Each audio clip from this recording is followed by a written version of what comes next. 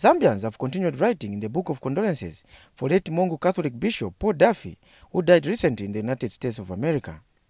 A check at Kapingila House in Lusaka, which is the Catholic headquarters in the country, found people signing the book for the clergyman who was known to be outspoken on governance issues.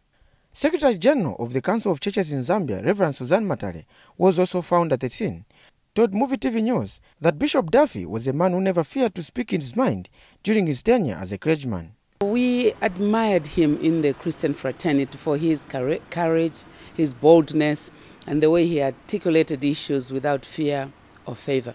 Reverend Matale has also urged politicians not to take advantage of Bishop Duffy's funeral to gain political mileage, as has been the case with other high profile funerals in the recent past.